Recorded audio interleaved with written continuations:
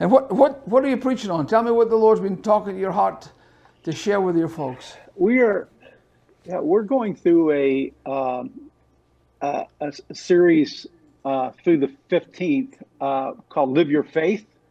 Uh, we're talking wow. about living your faith with your mind, living your faith with your heart, yeah. living your faith with your hands, and living your faith with your feet. And then on the 15th, we're having uh, what we're calling Vision Sunday.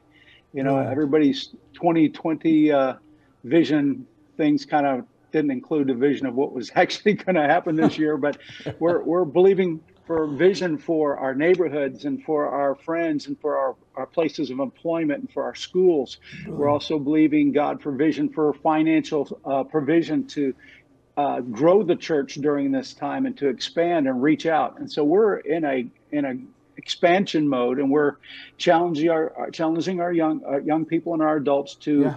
not put their heads under the pillows and to hide from what's going yeah. on, but to uh, use this as an opportunity to reach people who are hurting, who are afraid, who don't know about the future. And, you know, we're, we have life and health.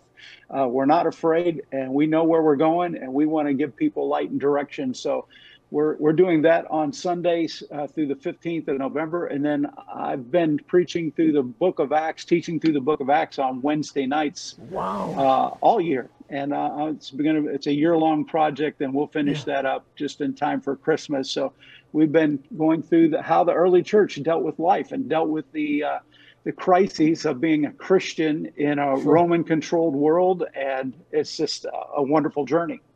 And folk, folk don't realize that the early church literally existed under the heel of the most powerful force on earth at the time, the Romans.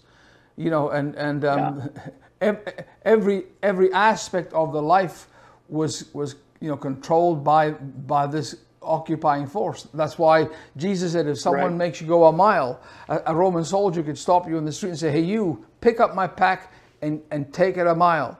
And they would literally walk out a mile. They would count their steps and then they would throw the pack down and say, that's me done and go. And Jesus said, oh, no, no. If someone asks you to go a mile, go them a second mile. So these, these, the oppression that the church was under in the early days is way more severe than what we're living in right now. And, um, and, and they grew. And in fact, the persecution that they, they suffered from was the very thing that made them grow. And if you and I right. can understand that God is in the storm,